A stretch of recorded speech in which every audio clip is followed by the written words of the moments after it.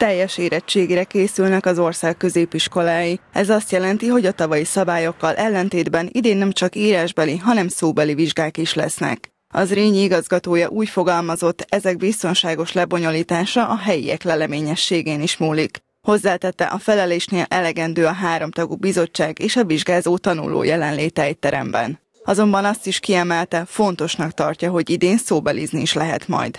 Számításaink vannak tavalyról, tehát azt tudjuk, hogy a középszintű érettségi nem nagy százalékban tért el a szokásos átlagtól, kivétel azok az idegen nyelvek, ahol nyilván szóban a gyerekek nagyon sokat tudnának javítani, hiszen négy vagy öt évig éppen a kommunikatív készségeiket fejleszt.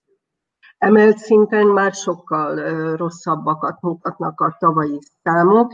Külön ki szeretném emelni az informatikát és a kémiát, ahol 10% fölött. Most nem készültem pontosan, de megrögzült, vagy rögzült bennem tavaly, hogy ilyen 16-17%-kal rosszabb eredmények születtek, mint általában, hiszen szóban nem tudtak javítani, az Rényiben sok a vidéki tanuló, ezért még a tavaszi szünet előtt leállították a kiscsoportos foglalkozásokat is, hogy ne váljon gócponttá az iskola. Az érettségi május 3-án kezdődik, azonban már április 19-én nyitnak az iskolák, és visszatérnek a jelenléti oktatáshoz. Az Rényi igazgatója amiatt aggódik, hogyha egy tanulóról kiderül, hogy beteg, az egész osztályt karanténba zárják, ezzel pedig veszélybe kerülhet az érettségiük.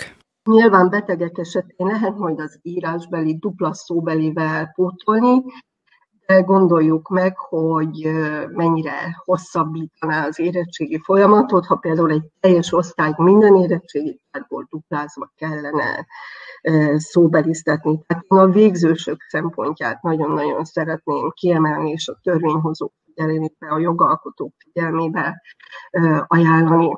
Az aggodalmak és fenntartások ellenére a szabályoknak megfelelően 19-én visszatérnek az Rényibe is a diákok. Extra fertőtlenítéssel nem készülnek, a takarítók rendszeresen, alaposan végzik a takarítást. Ezt az intézmény vezetője is ellenőrzi. A kollégiumban már ettől nehezebb lesz megfelelni az előírásoknak, például a távolságtartásnak, de mindent megtesznek majd a tanulók és a pedagógusok biztonságának érdekében.